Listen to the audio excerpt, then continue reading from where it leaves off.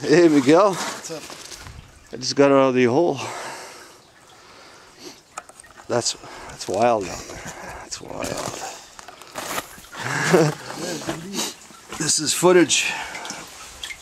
David Suzuki, eat your heart out. Look at this science being made here.